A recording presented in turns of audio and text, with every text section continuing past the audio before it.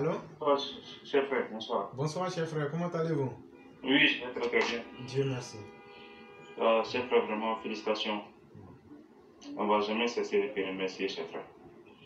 Donc, euh, cher frère, mon intervention de ce soir, j'ai compté dire bonsoir à tout le monde.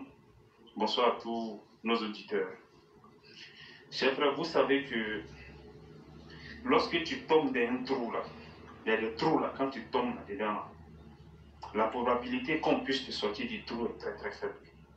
Exemple, une personne qui tombe dans, une personne qui tombe dans un puits, on peut peut-être le sortir du trou.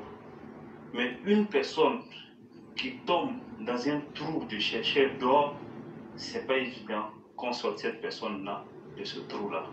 Et en ce moment, c'est le cas du peuple malien, avec à la tête Assimi Goïta. Le Mali s'est tellement plongé dans un trou qu'aujourd'hui même, on ne sait pas comment on va faire sortir le Mali de cette situation-là.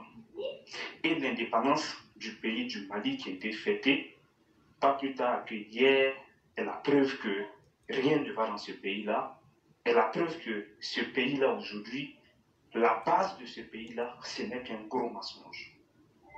Chers frères, aujourd'hui, les autorités maliennes veulent faire croire à la population malienne que les armes qui ont servi au défilé, c'est peut-être une stratégie de diversion.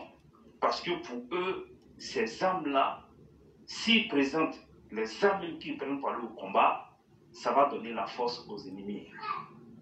Chers frères, les armes que moi j'ai vues là, dans ce défilé-là, chers frères, je comprends pourquoi les djihadistes n'ont pas de d'adversaires en face et ils ne font que prendre plus de la moitié du territoire malien. Chers frères, il est important de rappeler aux Maliens que nous tous, nous sommes contemporains de l'histoire politique du Mali. Lorsque le président ATT a été renversé, qu'est-ce qu'ils ont reproché Qu'est-ce qu'ils ont reproché au président ATT Ils disent que le président ATT ne luttait pas efficacement contre le groupe Touareg. Raison pour laquelle ils ont renversé le pouvoir du monsieur. Mais qu'est-ce qu'on a constaté derrière? On a constaté que, avec cette gêne de Sanogo, le MNLA a commencé à prendre du terrain. Aujourd'hui, le président Ibeka n'est plus président de la République suite à un coup d'État. Qu'est-ce qu'on constate également? On constate que les djihadistes sont en train de prendre du terrain. Ce qu'il est important de rappeler aux, aux auditeurs de ce Ablem Nyangwa, lorsque le Mali était presque envahi par les djihadistes, c'est une résolution de l'ONU qui a permis à la France de décoller ses hélicoptères de guerre afin de pouvoir bombarder ces djihadistes-là et les sortir du territoire malien. Aujourd'hui, quand on voit aujourd'hui cette campagne qui est menée contre la MINUSMA, sachant que c'est vous-même les Maliens qui avez demandé l'intervention des MINUSMA. Les Maliens, exactement, nous, nous on vous demande aujourd'hui, qu'est-ce que vous voulez exactement au monde? Soyez un peu courageux de dire que nous aujourd'hui, nous le Mali là, on a mis notre grande bouche devant. On ne peut pas. On ne peut pas face à ces djihadistes-là. Parce que ces djihadistes-là, aujourd'hui, la Libye est devenue un ciel, un armement à ciel ouvert pour eux. Donc quand on regarde les armes que vous avez, par rapport à ce que disposait Kadhafi, aujourd'hui qui est dans la main des djihadistes-là, il n'y a pas match. Est-ce que le Sorobium aujourd'hui qui vous conseille là, c'est pas lui dans un audio qui a dit c'est la puissance du feu qui fait que les gens se rallient. Quand vous regardez la puissance de feu de la même malienne et la puissance de feu de ces djihadistes là, quelle est la puissance de feu qui est supérieure par rapport à une autre puissance de feu? Donc il n'y a qu'aujourd'hui la communauté internationale ainsi que tout le monde entier qui pourront vous aider à faire cette lutte-là. Parce que même la Grande France a eu un témoignage que ce n'est même pas facile pour une armée professionnelle de pouvoir s'imposer dans le Sahel parce que le terrain est vaste. Et les djihadistes maîtrisent réellement là où ils se trouvent. Donc, si le Mali n'est pas sincère dans leur démarche, s'ils continuent toujours dans leur, dans leur mensonge, c'est le peuple malien qui va prendre le, plus gros pot cassé. En Côte d'Ivoire, on pourra, nous, quand même, se défendre parce qu'on a des, on a un soutien. Et l'homme qui garantit aujourd'hui ce soutien-là, c'est le président Alassane Ouattara. Donc, quand Alassane Ouattara dit, quand il dit une manière de marcher, c'est parce que c'est quelqu'un d'expérimenté, c'est quelqu'un qui sait où lui, ces relations-là peuvent l'emmener à obtenir ce qu'il veut. Donc, aujourd'hui, des armes de 1960 sont en train de défiler. On fait croire au peuple malien que ces armes-là sont ceci, sont cela. Chers Maliens, s'il y a une personne qui vous aime plus que tout le monde aujourd'hui, c'est le président Hassan Ouattara. C'est le président Hassan Ouattara. Et je félicite, chers frères, les efforts que fait le Burkina afin de pouvoir restaurer sa dignité, afin de pouvoir restaurer, conquérir toute l'identité du territoire burkinabé. Chers frères, c'est pas ce mot-là, c'est pas ça que je comptais terminer. Merci beaucoup, chers frères, de vous inquiéter pour le peuple du Mali.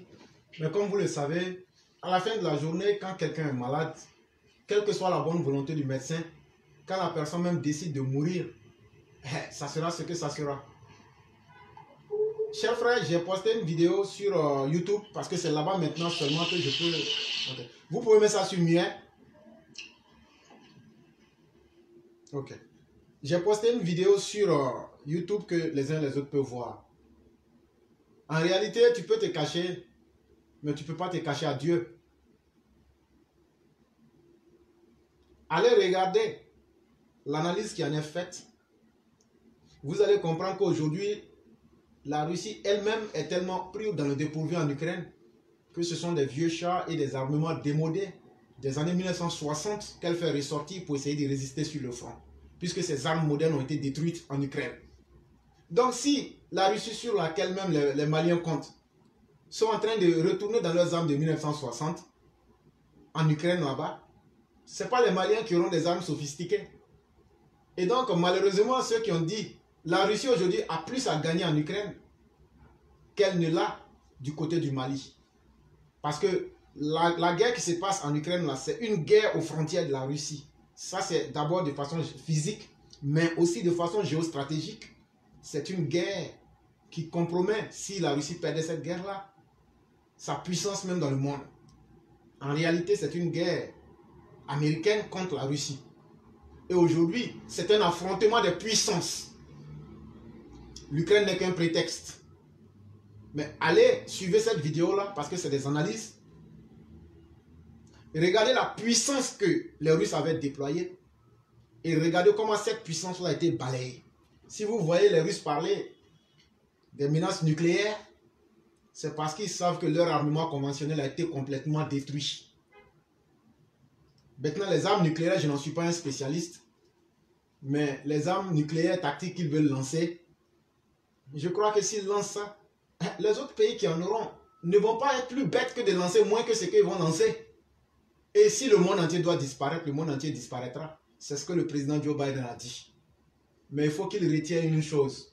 La grande Russie qui fait rêver les Maliens, Aujourd'hui, la Russie elle-même fait sortir ses vieux chars parce que les armements modernes sur lesquels elle avait compté pour prendre l'Ukraine en trois jours ont été complètement détruits. Donc, ce n'est pas vous les Maliens qui allez avoir des armes modernes. Donc, vous n'avez rien en réalité. Et pour, pour savoir que vous n'avez rien là, c'est vrai que ce ne sont pas forcément les armements qui font la guerre. Il y a la volonté humaine et il y a l'intelligence humaine. Sinon, si l'armement faisait la guerre, les, djihadistes n'ont pas d'avion, les djihadistes n'ont pas vos hélicos supersoniques. Les djihadistes n'ont pas vos radars. Les djihadistes n'ont pas aussi vos, vos, chaussettes anti-balles. Mais comment se fait-il que les djihadistes arrivent à vous battre? Ça veut dire que leur volonté, malheureusement, est plus coriace que la vôtre. Mais aussi, quand on voit les échecs infligés à l'armée du Mali, avec la complicité d'Assimi Goïta, qui est couché au palais de Koulouba, mais qui fait partir les enfants des autres à la mort, et qui paye des désœuvrés pour dire que l'armée se porte bien. Je crois que par le nombre de morts qui sont alignés chaque semaine, les Maliens doivent comprendre qu'une armée qui a les, qui a les capacités d'action n'aligne pas les corps comme ça se fait à Bamako actuellement. Je le dis, allez dans le camp de Kati, demandez il y a combien de veuves. Vous serez surpris de ce que vous verrez. Malheureusement, c'est ce qu'on essaie d'expliquer. Et c'est ce que même votre Abdul Diop, il était là. Il a parlé cette semaine. Il a parlé pendant 16 minutes. Pourquoi il n'a pas dit qu'eux ne veulent pas de l'aménagement Il a même remercié du fait que le, mandat a été relancé. Il a dit que la CEDEAO et les partenaires internationaux doivent les aider dans leur lutte. Même s'ils parlent de souveraineté, comment on peut être souverain si on n'a pas la capacité d'être sérieux? Avant d'être souverain, il faut inspirer le respect aux autres. Il faut respecter les accords que tu signes. Il faut respecter ta parole. Il faut arrêter d'être un proto-État djihadiste. Les djihadistes agissent dans ce qu'ils savent faire. Et vous qui dites que vous êtes les dirigeants du Mali, vous faites la même chose. C'est pourquoi moi j'ai dit, le Mali même n'existe plus c'est un État en formation de djihadistes, un État djihadiste qui est en formation. Et c'est ce que j'appelle le proto-État djihadiste du Mali. Les djihadistes kidnappent, vous vous kidnappez. Les djihadistes tuent la population, vous tuez la population malienne. Les djihadistes pillent la population, vous vous pillez la population. Les djihadistes prennent des mercenaires, vous vous prenez des mercenaires de Wagner. Quelle est, quelle est la différence entre vous et les djihadistes? Les djihadistes mentent, vous vous mentez. Les djihadistes font de la prise d'otages, vous en faites autant avec vos partenaires internationaux. Donc finalement, où est la différence entre vous et les djihadistes? Et c'est ça, tant que vous n'allez pas forcer le respect vers vous, personne ne vous respectera.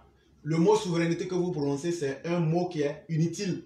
La souveraineté ne viendra que lorsque vous auriez compris que le Malien doit se mettre au travail plutôt que de faire la forte gueule.